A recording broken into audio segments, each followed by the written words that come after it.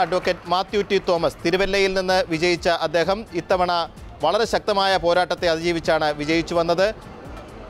ഇത്തവണ കെ കൃഷ്ണൻകുട്ടി ആയിരിക്കുമോ മാത്യു ടി തോമസ് ആയിരിക്കുമോ സി കെ നാണു ആയിരിക്കുമോ എന്ന തർക്കത്തിനൊടുവിൽ പാർട്ടി കേന്ദ്ര നേതൃത്വം മാത്യു ടി തോമസിനെ പിന്തുണക്കുകയായിരുന്നു കാര്യക്ഷമത നേരത്തെ തന്നെ വി എസ് മന്ത്രിസഭയിൽ തെളിയിച്ച മാത്യു ടി തോമസ് ജലവിഭവ വകുപ്പ് ടി തോമസ് ആയ ഞാൻ നിയമം വഴി സ്ഥാപിതമായ ഭാരതത്തിന്റെ ഭരണഘടനയോട് നിർവ്യാജമായ വിശ്വ വിശ്വസ്തയും കൂറും പുലർത്തുമെന്നും ഞാൻ ഭാരതത്തിന്റെ പരമാധികാരവും അഖണ്ഡതയും നിലനിർത്തുമെന്നും ഞാൻ കേരള സംസ്ഥാനത്തെ ഒരു മന്ത്രി എന്ന നിലയിലുള്ള എന്റെ കർത്തവ്യങ്ങൾ വിശ്വസ്തയോടും മനസാക്ഷിയെ മുൻനിർത്തിയും നിർവഹിക്കുമെന്നും ഭരണഘടനയും നിയമവും അനുസരിച്ച് ഭീതിയോ പക്ഷപാതമോ പ്രീതിയോ വിദ്വേഷമോ കൂടാതെ എല്ലാ തരത്തിലുള്ള ജനങ്ങൾക്കും നീതി ചെയ്യുമെന്നും ദൈവത്തിന്റെ നാമത്തിൽ സത്യം ചെയ്യുന്നു.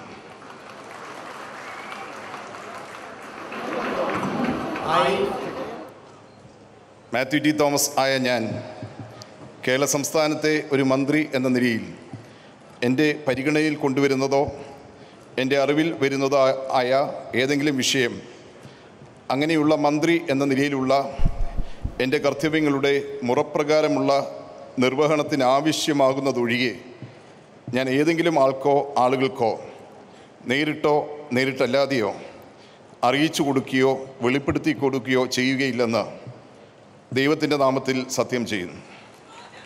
ജോസഫം പുതുശ്ശേരിയെ ശക്തമായ പോരാട്ടത്തിൽ കാര്യമായ ഭൂരിപക്ഷത്തിൽ പരാജയപ്പെടുത്തി തിരുവല്ലയിൽ നിന്നും വീണ്ടും തിരഞ്ഞെടുക്കപ്പെട്ട മാത്യു ടി തോമസ് ജലവിഭവ മന്ത്രിയായി പിണറായി മന്ത്രിസഭയിൽ സത്യവാചകം ചൊല്ലി അധികാരമേൽക്കുകയാണ്. വി എസ് മന്ത്രിസഭയിൽ ഗതാഗത മന്ത്രിയായിരുന്ന മാത്യു ടി തോമസ് കാര്യക്ഷമത നേരത്തെ തന്നെ തെളിയിച്ചിരുന്നു. റോഡ് സുരക്ഷാ നിയമങ്ങൾ കർശനമാക്കുന്ന കാര്യത്തിലും കെ എസ് ആർ ടി സിയുടെ ഫ്ലീറ്റ് യൂട്ടിലിറ്റി സർവകാല റെക്കോർഡിലെത്തിക്കുന്ന കാര്യത്തിലും മാത്യു ടി തോമസ് ചരക്ക് ലോറി ഒരു ദിവസം കൊണ്ട് സമരം നേരിട്ട് കാര്യക്ഷമമായ പ്രവർത്തനം കാഴ്ചവെക്കുന്നതിനുമൊക്കെ കഴിഞ്ഞ ഇടതു മന്ത്രിസഭയിൽ വളരെ ശക്തമായ പ്രവർത്തനം നടത്തിയ വ്യക്തി കൂടിയാണ് മാത്യു ടി തോമസ്. ഇത്തവണ നിയമസഭാ കക്ഷിയിൽ മന്ത്രിസ്ഥാനം പാർട്ടി കേന്ദ്ര നേതൃത്വം ഏൽപ്പിച്ചത് മാത്യു ടി തോമസിനെയാണ്. പക്ഷേ ഗതാഗത വകുപ്പല്ല അദ്ദേഹം. ജലവിഭവ വകുപ്പായിരിക്കും കൈകാര്യം ചെയ്യുക.